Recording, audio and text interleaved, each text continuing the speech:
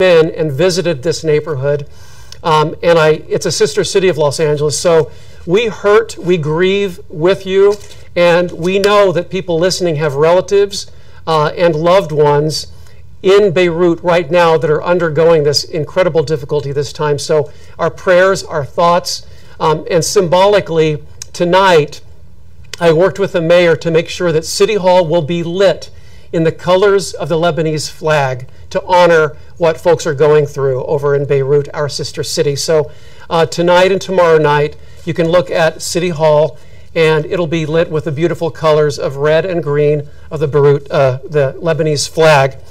Um, so much has happened in the last seven years uh, that I've been privileged to be the council member representing the 13th district, uh, which includes all of Little Armenia. Back in 2015, we dedicated the Armenian Genocide Square at the intersection of Hollywood and Western, the only sign anywhere of any city that actually has the term genocide on the public right of way, and it is a city sign that acknowledges the tragedy of the Armenian genocide. Um, so I'm going to go down a list of things that we've been working on collectively, some more recent, some currently underway, and some that we've accomplished already. We're expanding the Metro Bike Share program throughout the district and East Hollywood and Hollywood. We've worked with LA Metro to identify several bike share locations in East Hollywood. Now, what we have is a pay-as-you-go system so that we can travel with alternate modes of transportation. When I moved to Los Angeles back in 1982 as a very young man, I only had a bicycle for two years. I discovered Los Angeles on two wheels for two years, went to work, went to social gatherings. So, in that sense, I suppose I was a pioneer. But all these years later, there are thousands of bicyclists now. Now, you don't have to own a bike you can uh, use a bike, uh, bike metro uh, ride share.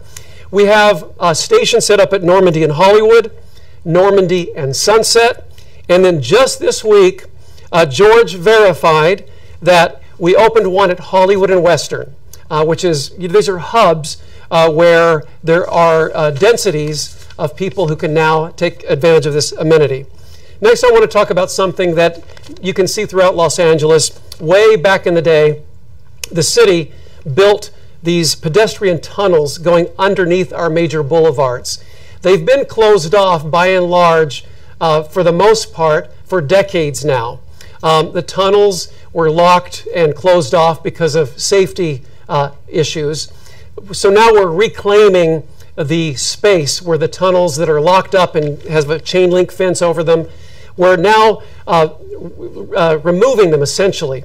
We're not destroying the tunnels, so someday if we decide that we can open them up again, then we have that option. But right now, we're going to reclaim the sidewalks, and we're going to put the sidewalk back over the tunnel openings, remove the obstructions, the fences. Uh, it makes it safer for pedestrians and uh, visuals for motorists as well that can't, uh, won't have a, a blocked vision as they drive down the street. So we're removing uh, tunnels at New Hampshire and Hollywood right by uh, Barnsdall Art Park, and then another one at Santa Monica and Normandie, which you have to squeeze by as a pedestrian to get by that, those two tunnels anyway. So it'll make the sidewalk wider and safer and make the neighborhood safer for pedestrians at the same time. So uh, that's coming and we'll be uh, installed by next year, by 2021. Um, the documents uh, are the, uh, the, in place, the construction crew is identified, and construction will begin soon. Um, I mentioned Hollyhock House. Uh, Hollyhock House is the crown jewel of the culture of all of Los Angeles, if not all of California.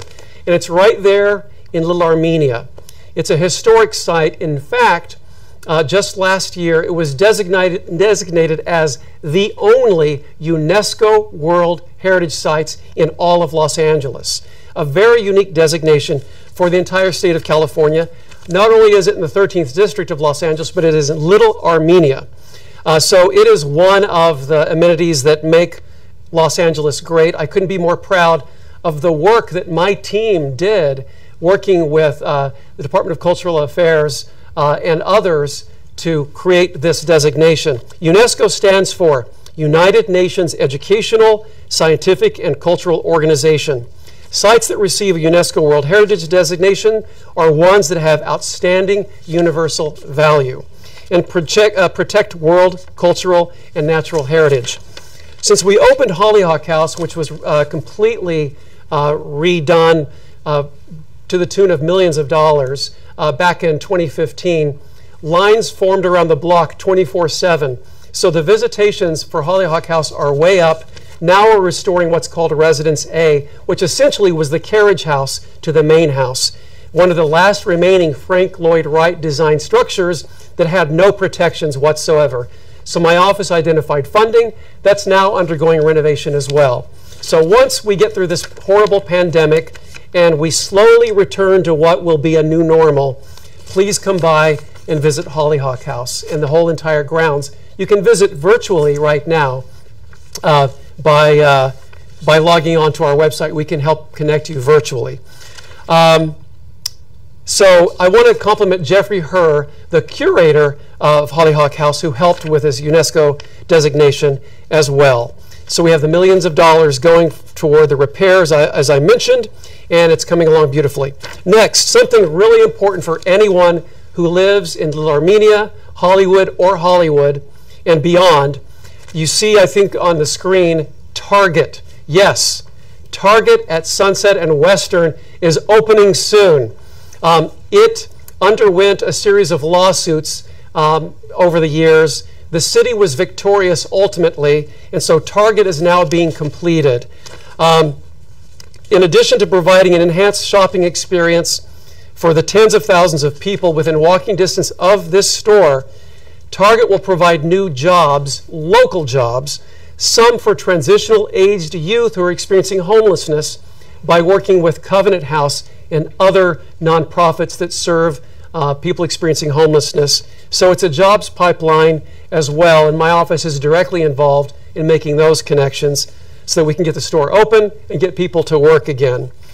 Um, next, this is really something that we're very proud of you see a picture of the groundbreaking of what will be the Little Armenia Gateway Project. It is a monument to Armenian culture, Armenian history, to the Little Armenia community, right there on Hollywood Boulevard at the 101 North off ramp.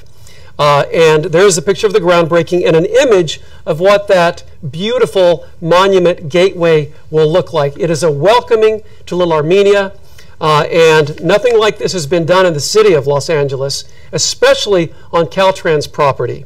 So last October, I was proud to be joined by Bureau Street Services, the Department of Cultural Affairs, and the Atanian Arts Center, who is uh, who we uh, have uh, brought aboard to design and build this monument through a publicly juried process that happened years ago.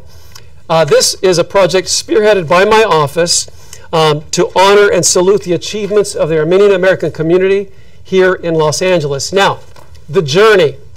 I want folks to understand that we literally had to move heaven and earth to make this happen. Caltrans had to modify their entire model for the state of California in order to put this on Caltrans property. So uh, if you want to know the, the bloody history of what got us there to build this, uh, so that we could shine a spotlight on this incredible community, check in with George, Star, or Marisol, and they'll give you the gory details. But the good news is it's being built. It's going to be an incredible amenity. We will have a wonderful celebration once we finish uh, this structure. I'm really grateful for uh, to Tanya Picasso from the Department of Cultural Affairs, who really did the consistent heavy lifting on the department's part to help push this forward. We were an unbreakable team who linked arms and said, We're building this no matter what we have to do or what obstacles we have to face, and we're going to do it. Um, and we're going to hear from Tanya in a, little bit, I think. Um, support during COVID. Okay, we, we have this unprecedented pandemic. Everyone is affected negatively by it, and life is difficult right now. Uh, there's no doubt about it. Um, right now, we're supporting our seniors um, across the city. We have a very present and, and very, uh, very active senior community uh, in Little Armenia and the 13th District. Uh, during the beginning weeks of COVID 19 and the crises, my office has worked consistently to deliver toiletries, hand sanitizers, and other supplies to seniors in need who are the most vulnerable to COVID 19 uh, across the board. Uh, we've also been working with the mayor's office. We provided uh, COVID testing kits at these sites. Uh, Little Armenia is home to several assisted living and senior facilities, so we want to protect our seniors, and that work continues right now. Um, we also did the East Hollywood Produce Box giveaway, and we did that by working with uh, the, the neighborhood council and the East Hollywood Neighborhood Council, that is. That project is continuing as well. Uh, we partnered with a, a neighborhood council and Rick's Produce to provide these free boxes of fresh produce to all stakeholders who need it in Little Armenia uh, and the greater East Hollywood area. Special hats off to the East Hollywood Neighborhood Council, who really is devoted and dedicated to this endeavor as volunteers. Uh, they're on a mission to help people no matter how they found themselves in the circumstances, and we are honored to work with East Hollywood Neighborhood Council and Rick's Produce to keep this program going. Um, since April, there have been over seven events, uh, which hundreds of produce boxes have been given away, and we look forward to partnering, uh, continuing that partnership. Please stay in touch with my office and George Hakopians uh, for the next produce uh, box giveaways there at the site of Rick's Produce. Uh, these projects and initiatives are among the many ways my office is making a difference in Little Armenia, and of course, complemented by the efforts of my Los Angeles uh, uh, Conservation Corps Clean Team and community organizer Sylvan de la Cruz. Um, and so here is a, a picture of what my Clean Team does on a regular basis. We do nearly 900 small and large and in between projects a year across the 13th district, a priority of mine. I identified funds early on. We've been doing this since July of 2013. We go out five days a week and do projects. Here's one right here that shows a before uh, and after picture where we trimmed some trees, removed some bulky items, um, and there you have the before and after. Uh, so if you have a site that needs attention, contact us so we can put it on the list so we can mitigate uh, the, the issue. Uh, we did weed and litter abatement at 1627 North Mariposa, all the way to Hollywood Boulevard. Uh, we, we, we mulched the tree wells uh, and we watered six of the trees. And um, we also did litter abatement on North Alexandria from Hollywood to Sunset. And we're doing more of that right now today as well. And just a reminder, we're going to take some questions after I finish this presentation. We hear from some of our guests. Um, my office partners constantly with several organizations, empowers organizations, assists, and we really are a partnership in Little Armenia. One of our incredible partners is the Armenian Relief Society. Um, and Tamar can tell you, uh, I'm sorry, Talar can tell you all about the incredible work they do We've been working with them since day one. So I'd like to introduce Talar Aintablian from the Armenian Relief Society of the Mer chapter. Uh, and she's going to tell a little bit about uh, the work that they do in the community. And I can't imagine Little Armenia without the Relief Society. So, so please, Talar, take over from here. Thank you, Council Member. Um, I'd like to say um, a very big thank you for allowing our organization to participate in this event. Uh, we've always appreciated our partnership. And um, just to give some background about our organization, the Armenian Relief Society was uh, founded in 1910. We're a nonprofit humanitarian organization. And this year we will be uh, marking our 110th anniversary. Um, the Armenian Relief Society Social Services was established back in 1979 because uh, the organization realized there was a large influx of immigrants and refugees in the communities um, with with demonstrated social, employment, acculturation, and various human services needs. Our mission is to uh, work toward improving the standard of living of individuals and families who are in need and to help meet growing and changing societal needs. We've been operating for four decades and we provide uh, comprehensive social services uh, targeted at low income individuals and families uh, including older and disabled adults as well, and vulnerable populations. Many of you, many of whom have limited English language capability. Uh, currently, uh, we have three offices, and one of our busiest is actually in the 13th district. Um, the services we provide are wide ranging. Um, they vary from assisting clients with housing issues, particularly low income and Section 8 related, or senior housing, providing access and linkages to public benefits. Um, this includes the CalFresh program, um, CAPI, SSI, uh, helping with enrollments for in home supportive services. Um, lately, of course, with the pandemic, we've seen an increase in the demand to help with um, unemployment benefits related issues. We also provide employment services, um, helping community members um, get access to jobs or develop their job skills, uh, make referrals and placements, and also follow up with them to see if they're retaining their employment. Um, other issues uh, vary from transportation related to uh, assistance with telecommunication and utility programs, public assistance and discounts that are out there for the public um, as well as assistance to individuals and families who are homeless um, or on the brink of homelessness. We've seen a rising need there, and we do our best in our capacity and our resources to help provide them with any kind of immediate and emergency aid that they need. Um, we are also a hub for providing information referrals to other community resources that are out there. Um, we have a lot of um, clients who reach out to us in need of mental health support services, domestic violence, substance abuse. So um, we try to be mindful to be able to um, get clients to the services that they're able to access for for those specific areas. Uh, the community actually has known us as a one-stop center there, and so um, they really uh, come to us for any of their needs, um, even beyond the ones that I've mentioned here just a few moments ago. Uh, while the services that we've been providing in this community have always been in demand, of course, the, the pandemic um, caused for a further increase in services.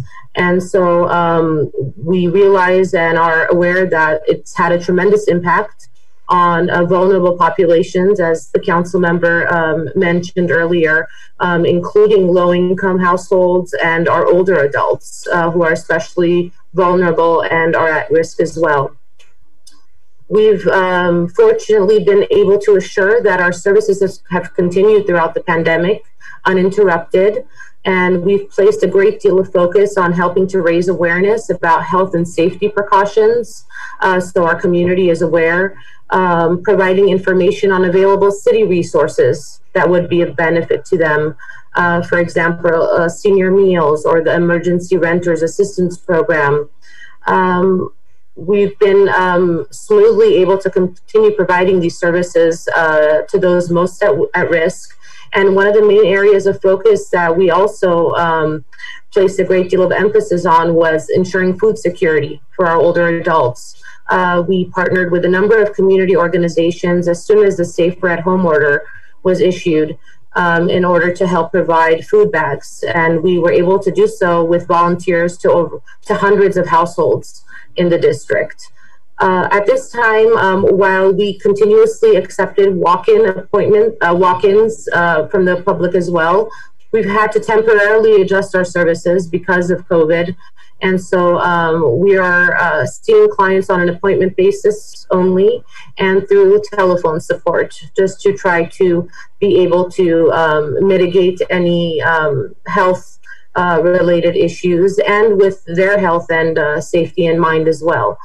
Um, our services have been uh, provided ongoing year round and on a full time basis.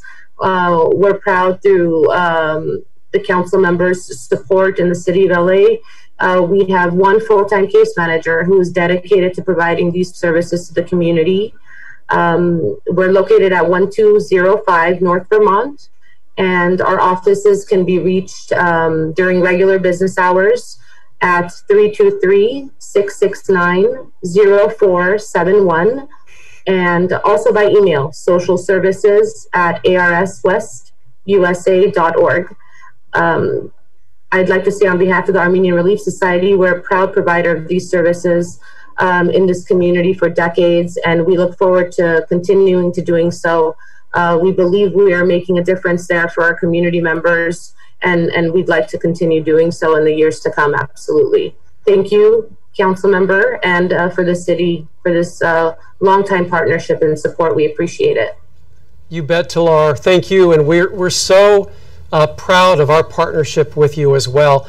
And for everyone who's listening, it's organizations like the Armenian Relief Society uh, that are in the trenches in all of our neighborhoods doing this incredible work. So I urge you to get to know them if you haven't heard of them before. And there are ways you can support and help support their efforts as well by contacting them with information that Talar just gave you. So thank you so much. Um, next, I'd like to turn it over to Tanya Picasso of the Department of Cultural Affairs. Uh, back to the Armenian Gateway, uh, which is something we're just really excited about. So much work has gone into this. So, you know, every successful project requires a small army or a team to make it happen. When one component of that team is removed, the thing can fall apart very quickly. One critical component of this success has been Tanya. So, Tanya, if you could talk a little bit about it, we'd appreciate it. Thank you, Council Member. That's um, very, very nice. Um, when you say that this is an unbreakable team, I, I think that is so, so very true. I've the distinct honor of being part of this project since its inception in 2014, and we're now in 2020. Um, so it's been it's been a great privilege to be part of your incredible staff, who's just been wonderful. When you talk about determination and persistence, CD 13, you guys are awesome. Um, so a little bit of background. I just wanted to share that when the council member uh, introduced this motion to create public art in the Little Armenia neighborhood, we knew at DCA that we would take a collective, community-driven approach to inform the design and produce something that would commemorate the rich history of the American Amer Armenian American community. This project is a response to the community's request to have the city commission an artwork to on that honors that ancestry and that heritage at the heart of Little Armenia. In 2015, Council District 13 and DCA conducted a community survey that asked for input on the type of artwork that would best be suited for this concept. And as a result, a cultural gateway was identified to signify a warm welcome to all visitors in Little Armenia and the city of Los Angeles while fostering a sense of cultural pride and community connection. So, what was the process for selecting uh, the artist?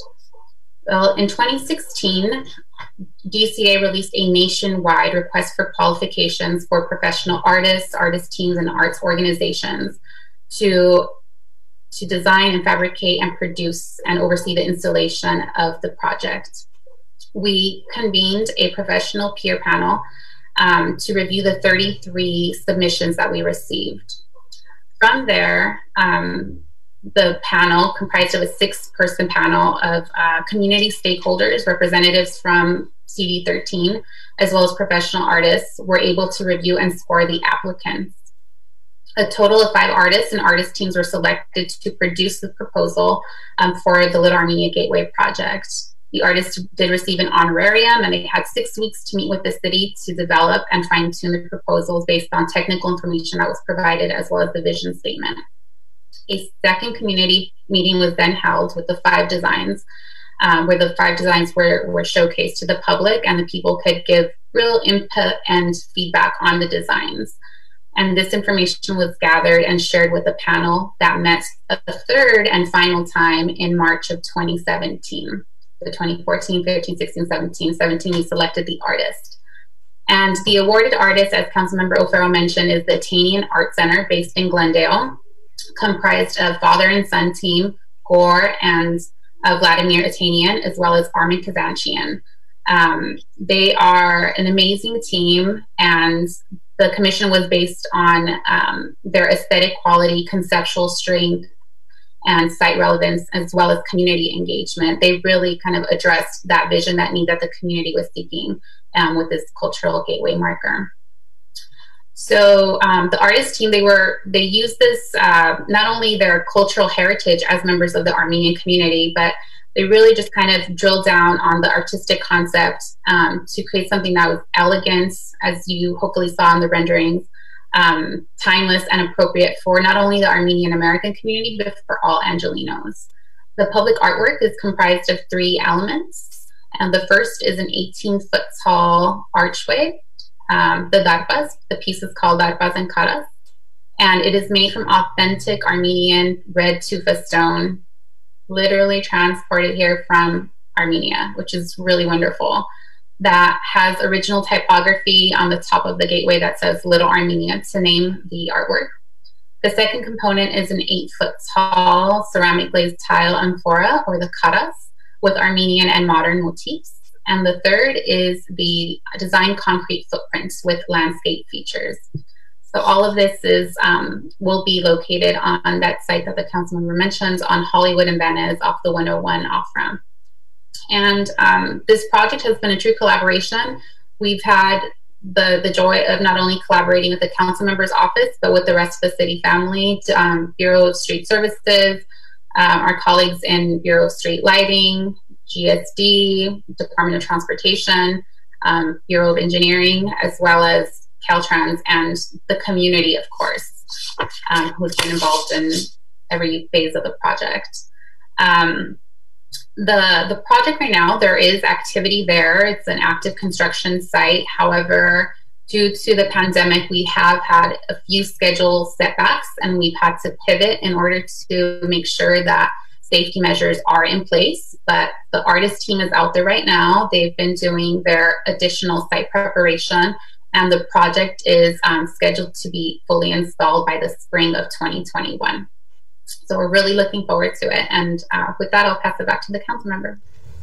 Tanya, thank you so much. Um, as you're describing this incredible artwork, I'm reflecting on how important visibility is. Visibility is so important, representation is so important. So now, when this is done, and we'll celebrate it in the spring, hopefully in time for the, the march, the annual Genocide March on April 24th. Um, people will know that this area means something, that it has, uh, that people in the area care, and that representation matters. So thank you so much, DCA, and all the departments that you mentioned. It definitely is a labor of love for all involved. Um, so I'm now going to talk about our next topic, and that is the importance of small business. We know that entrepreneurs who immigrate to Los Angeles, sometimes the very first thing they do is set up a small business. We know that's really important in Little Armenia. It's really important across the whole 13th district, and for that matter, the whole city. We know that small businesses employ about three quarters of all workers in Los Angeles. Restaurants are especially hard hit, and about one out of every 10 workers in the city work in a restaurant or a food service industry of some sort. So my office identified $1 million. We reprioritized that money that would have been spent for something like a streetscape or uh, a public works or infrastructure improvement project. We reprioritized it the moment the pandemic hit, and we put a million dollars for renters and a million dollars for small businesses. Um, and so that is launching very soon. In fact, today for the first time. You can get information on my website. And then there will be an open enrollment period on August 13th until the 18th to access up to $5,000 for small businesses located within the boundaries of the district I represent. That's the 13th district. So this small business grant program uh, is very important. And so joining us today from our partner to help roll this out, the Economic and Workforce Development Department, um, we have Daisy, um, and Daisy is here, Daisy Hernandez, to kind of explain a little bit about how that's going to work. So uh, I'd like to invite Daisy to say a few words about this uh, small business grant program. Hi, good morning, everyone. Good morning, council member. Thank you for inviting me to be here and participate in this forum. I'm glad to be here and to share the information about this exciting new program. To the audience, thank you for being on the call information about the grant program is, like council member said, it's hot off the presses, and um, I hope that you will find it helpful. As we know, the coronavirus have had a tremendous impact on businesses everywhere, and definitely the businesses in the city and businesses in Council District 13. And um, Council Member O'Farrell recognizes that there is an urgent need to provide additional funding to help businesses in his district. So as he set up this um, this grant program, um, we we again are excited to to partner with him to implement this program and and, and assist the businesses in his district. Now, um, the emergency relief program uh, will provide cash grants of up to five thousand dollars to qualifying small businesses located and operating in Council District 13. Um, who can apply? Well, micro entrepreneurs, small business owners, and nonprofit organizations that are located in Council District 13 that have been impacted by COVID 19 are eligible to apply. Uh, the business operation must be physically in a commercial use building, so a brick and mortar location is is uh, a required criteria for the grant. Um, the business um, has to have uh, a minimum of three employees and up to 26 employees with a gross um, annual revenue of uh, between $25,000 and $1 million. And that's going to be based on the most recent tax return available, whether it's 2018 or 2019 tax returns. Um, very importantly, we'd like to uh, let the business owners know that in order to apply, they, they do need to have a city business registration tax certificate that's in good standing and that was issued uh, in before March um, 2020. Now, what can the funds be used for? Um, uh, we the funds can be used to pay for payroll, um, whether it's for payroll or sick time payroll. Um, uh, we can use um, the funds also for rent, utilities, insurance, just working capital in general. All the, the, the basically the funds that businesses need in order to remain in business, remain, keep their doors open. Um, one important criteria is that only one application per business owner will be considered. So if you are a business owner that has multiple locations, we will only be able to accept one application from you. Um, we're excited. We we are going to be kicking, rolling out the program um, next week, as council member said, on August 13th. The application will be open for for five days. Um, we will be providing technical assistance uh, if you need help um, completing the application, uh, putting together the documents that you will need, we have partnered with Acelera Financial. Um, they're a consulting firm who will be helping us with with the technical assistance provision through the application selection process. Um, Acelera Financial can be reached at uh, 213 410 5099 uh, and they'll ready they are ready to start taking calls to assist you through the application process. Um, the the application portal will open on Monday, August. I'm sorry, on Thursday, August 13th, and will close on Monday, August 17th. Um, and uh, the businesses will be selected through a um, lottery system. So as you complete your application, you will receive a confirmation that the application has been received and uh, a lottery selection will be completed among the applications that are have all the documents that are required. So it's very important that you include the uh, all the documents that the application is is requiring, so that you are not disqualified for an incomplete application. And again, I'd like to remind everyone we will have the technical assistance that that's needed that you may need in order to complete the application. Um, and again, thank you for having me here. And I'll, and I'll be here in case there's questions after um, um, the, the forum uh, complete ends. Thank you, Council Member. Daisy, thank you so much. Um, and so, in addition to the number that Daisy provided you, if you have questions, you can log on to my website. We can connect you as well directly uh, to get your questions answered by logging on to cd13.com. cd13.com. Now, before we take some questions, I want to thank all of you for joining us.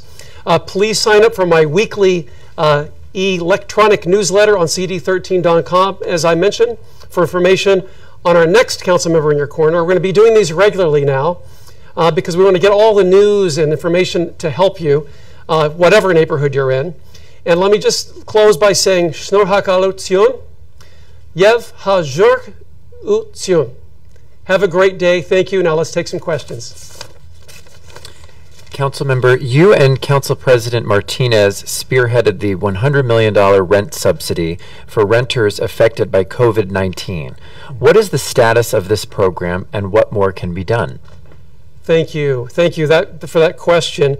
So, uh, the rent subsidy program, the emergency rent subsidy program, um, both Nury Martinez, our council president, and myself had already established $1 million funds to help renters within our own council districts. Now, that $1 million fund is going to help about 500 households just in the 13th district alone. That is in addition to the $100 million that we established through the same process that's going to be citywide. So residents of the 13th district will have a bite at that apple in addition to the $1 million that I provided previously. We felt it was very important. We know that people um, are underemployed or unemployed because of COVID 19, because of the business, uh, businesses that have closed. There's great hardship in, in the city, and we know that. So we felt it was really important um, to prioritize and spend some of the emergency uh, COVID 19 relief money from Congress that they allocated through the CARES Act for this fund. It's the beginning. I want to do more. I've made it really clear because it was oversubscribed. The fund in general, in addition to the 500 households in the 13th, the fund in general will help about 50,000 plus households across the city. But we know that a little over 200,000 applications were received. I'd like to keep this fund going as long as we have funding to keep it going. So I'm looking at that right now, in addition to advocating for additional relief from the state and the federal government. I've sponsored several resolutions, have been in contact with both houses of Congress, including Nancy Pelosi's office, and then our state house and Senate as well, so that we can cobble together funding at the local, state, and federal level. This is an ongoing effort, and so will looking to supplement this fund be an ongoing effort. We need to keep people housed and fed during the pandemic and long after it's over, keep people on a strong financial footing. Councilmember, I am a senior living in Little Armenia. I'd like to know what the status is of the senior meals program and what's happening to make sure we're providing uh, for seniors during this time. That's a great question. Thank you so much, uh, whoever asked that question. We know that seniors have it more difficult than almost anyone. They're more at risk for COVID 19. Um, they're on fixed incomes. So we really want to help our seniors. The state did a grant for a senior meal program, and it wasn't really, no pun intended here, but it wasn't fully baked. And so it ran into some limitations out of the gate.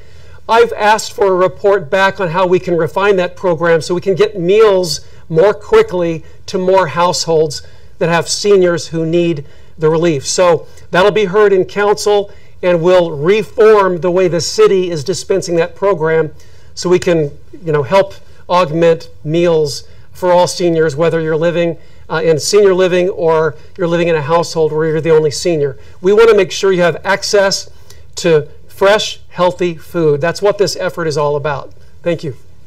Good question. Another question. I've lived in this neighborhood for some time and have seen new developments coming into the area. While I'm happy to see improvements, I'm wondering what can be done to address uh, affordable housing in the city. Affordable housing comes up everywhere I go. Um, from the very first moment I took office, I set to work on making sure that affordable housing was part of every development deal or a project that got approved through the city process where they were asking for some sort of variance um, or some sort of conditional use permit. I've been able to negotiate about 20% affordable uh, in Hollywood, in Little Armenia. A lot of the brand new projects that you see going up, these brand new shiny buildings, have a set aside of covenanted affordable housing within them. So it might look like what some call luxury housing, but uh, almost all of these projects have an affordable housing component to them, sometimes exceeding 20%. Now, what does covenant affordable housing mean? It means that you're not going to pay more than 30% of your household income for rent. So, in addition to fighting to protect what we already have in terms of the rent stabilization ordinance, those units, we're working on protecting them. And with the new projects, we're negotiating covenanted affordable housing as well. And in Hollywood, I'm very proud that we've kept that 20% of all housing affordable. And we've done that across the district as well. But Hollywood, it gets all the attention. So uh, if you have any questions, call, contact my office. If you have any questions about projects that you see, please let us know and we can answer them for you. I'd like to request uh, a cleanup in my neighborhood on my block. How do I uh, request a cleanup from your office? Great. Okay, so you know about my um, my regular uh, cleanups through my clean team that I formed back in 2013. So please submit your requests by phone uh, at uh, 213 207 3015. You can ask for Sylvan de la Cruz. He's my community organizer. He oversees this entire program. And like I said, we go out five times a week and do large and small projects. You can also log on to my website, cd13.com, and you can get my e newsletter. And you can also submit requests through my website. So those are good ways to do it, and we look forward to hearing from you. Council member, what have you been doing and what can you do to address pedestrian safety both in East Hollywood and across the district? Pedestrian safety. Um, pedestrian safety is my number one transit priority. I want to make sure that our public rights of way are safer for people to walk. Walking is healthy. It helps neighborhoods become vibrant. You feel better when you walk which is why I'm really focused on streetscape improvements and projects like the stairway, the under the street stairway project, where we can widen the sidewalks and make it safer for visibility. So we've we've done uh, streetscape projects which make it safer for pedestrians in Little Armenia specifically, the entire stretch of Hollywood Boulevard from roughly Vermont all the way to the 101 freeway. Those projects will continue. Um, and we're looking for more ways to improve the public right of way. Shade trees, uh, ADA ramps for, for uh, accessibility so you don't trip over a curb uh, to, to have to step over it. Um, it's really important that we put as many bells and whistles that are visible to motorists so they slow down when they're in a pedestrian area. Um, I strive to make all of the 13th District safer for pedestrians and school kids, and seniors especially need these protections. All right, and I think that that uh, is all the time we have for questions. And please, you can continue submitting questions um, to my office, and we'll answer all of them, even if I couldn't answer all of them right now, right here. But please do stay engaged. Um, I look forward to seeing you at the next council member in your corner, the virtual version. And I really uh, want to thank all the panelists today. We love working with you. We appreciate so deeply your devotion to community and community building. Uh, we're your partners um, and your friends, and you help make my district and the city a better place in which to live and live safely. So, everyone, be well, um, and let's keep praying for Beirut. Uh, and, um, you know, let's have a, a wonderful afternoon. Thank you so much. We'll see you next time.